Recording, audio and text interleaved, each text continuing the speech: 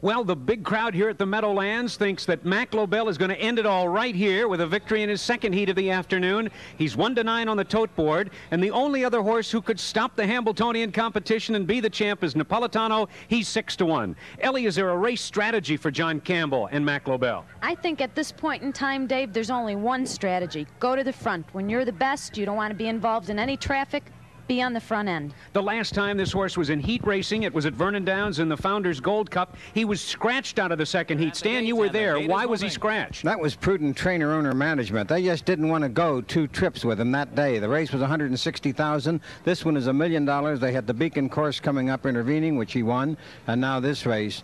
Oh, I think it was a wise decision on their part, Dave. And now it's time for the call of the second heat of the Hambletonian. We go to the top of the stands and track and announcer Tom Durkin. Tom? For the second and perhaps deciding heat of the Hambletonian 1987, and uh, they're off, and Waikiki Beach leaves quickly.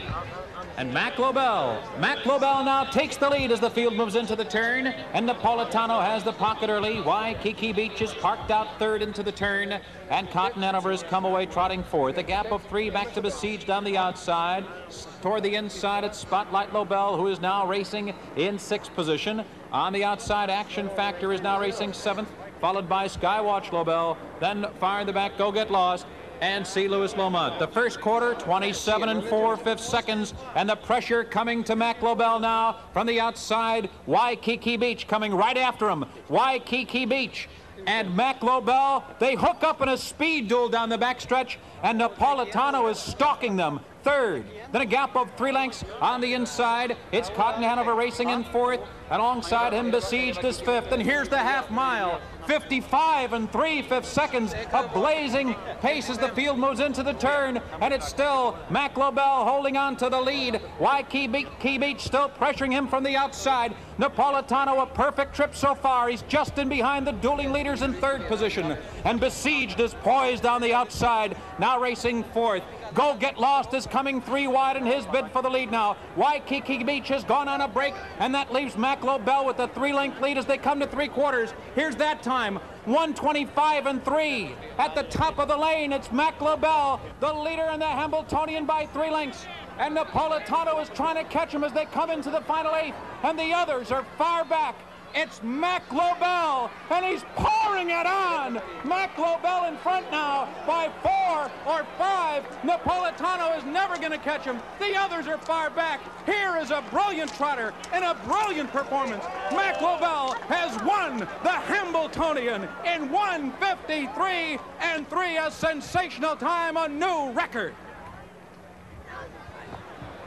And Mack Lobell further emphasizes his greatness a fifth of a second off the world record, and he earned his Hambletonian from start to finish. It was Napolitano that had it all his own way, and for Mack Lobell, no lucky trip. In fact, no luck at all, just power and speed and balance and beauty. In fact, these two heats this afternoon, 154 and 153 and 3 here in the second heat, the two fastest heats in the history of the sport. And watch here as John Campbell takes his first Hambletonian with this horse of greatness, Mack Lobell, and the dream comes true this afternoon for those around this great trotter.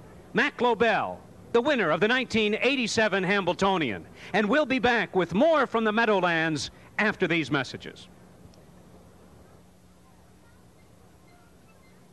We're back at the Meadowlands where Mack Lobell, in the central moment of his racing career, has decimated his competition with a show of acceleration unequaled, not just here at the Meadowlands, but in the history of racing one horse against another. Let's take a look at the official prices of the Hambletonian Mack Lobell pays 220, 210, and 210. Napolitano 240, 210. Spotlight Lobell third, $2.10 to show.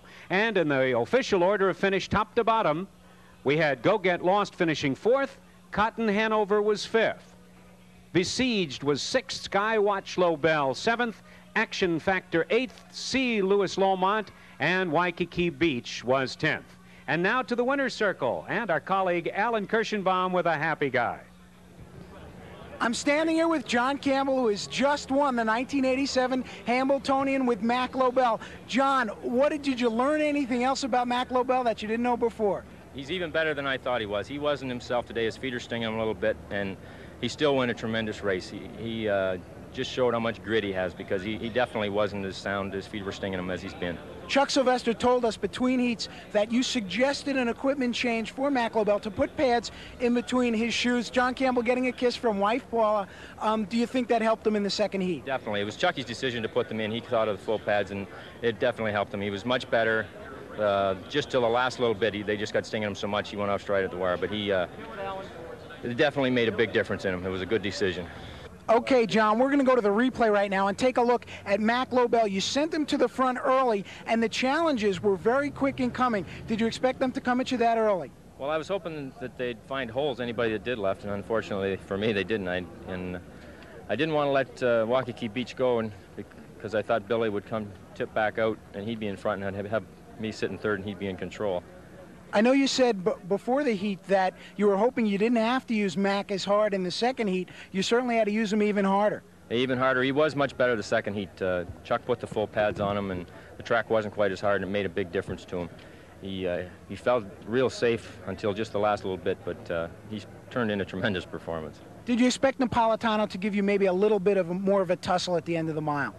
Well, I really didn't know. I didn't uh, know what to expect. He, he had got an easier first heat than I did, so I really didn't know what to expect.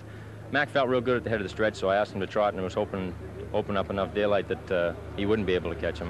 You've won almost every other classic race in the sport, but the Hambletonian eluded you to this year. How does it feel? Uh, it's a great feeling. I think it's my biggest thrill. Just from uh, the horse's standpoint, what a performance he put in. It uh, just shows his grit. You said before the race he's the best horse you ever driven. Do you feel any differently now? I just feel that he's more than ever that he's the best horse I've ever driven. He just proved it, and uh, he overcome something that all great horses have to win in when they're not 100%. Also in the winner's circle with me is Lou Guida, the principal owner of the One More Time stable. Lou, you've been associated mainly with great pacers over the year. Uh, how does it feel to have a great trotter like Mack Lobell? Unbelievable. It's an unbelievable feeling. There's probably very few owners who've won as many big races in the sport as you have. Does it ever start to wear off the thrill of winning a great race? I don't know if it starts to wear off, but after winning the Hambletonian, I'm beginning to think I'm not going to push my luck too much further. But we've had a great season. I've enjoyed it very much. Chuck's did a great job, and John is just a master at driving. And the horse did a lot himself, too. Congratulations to both Lou Guida, John Campbell, trainer Chuck Sylvester, and to Mack Lobell, a great winner of the Hambletonian. Let's go back to Dave Johnson. And can you imagine? He did it, and he wasn't even 100%. Ellie, at the beginning of the show, you said you were looking for records. Did you find enough? Oh, I found exactly what I wanted to see. He established two stake records, won the second leg of the Trotting Triple Crown, and he did it, like you said, not 100%. There's not many horses that can win a championship race like that and not be 100%. I think he's the best trotter I've ever seen. For the past 22 years, Stan Bergstein has been publishing his uh, experimental ratings. He did so in March of this year. And Stan, where did you put Mack Lobell back in March? I rated him on top of the mile in 1 minute and 53 seconds. Pretty close. Well, he's not done yet. He still has the great mile tracks at Springfield, Illinois, DuQuoin, Illinois, Lexington, Kentucky, if he chooses to race there. And I had some final thoughts of, I was very much impressed. That big S on Sylvester's silks, that stands for Superman, not Sylvester. and he ought to make a smaller size one, too, for John Campbell. As far as the G that in my equation, that's grit. He, um, uh, this horse has inherited the stamina and the grit of his sire, Mystic Park, who almost died with Potomac fever, lost all four hooves, and came back to be a great sire. As far as stud prospects, he's an outcross, brilliant prospect for his co-owner Ed Mullen, who owns Fair Winds Farm at Cream Ridge, New Jersey, where he will stand. And finally, Charisma. Jake Lobell was supposed to have been the horse. Mack Lobell turns out to be the charismatic champion. They are not related. They both come from Lana Lobell Farm in New Jersey. Well, it was an exciting afternoon of sport. Lots of records set, lots of action, and I hope that you enjoyed seeing greatness on the racetrack. This is Dave Johnson for Tom Durkin, who called the races, Alan Kirschenbaum, and my partners here, Ellie Sarama and Stan Bergstein, saying so long from the Meadowlands.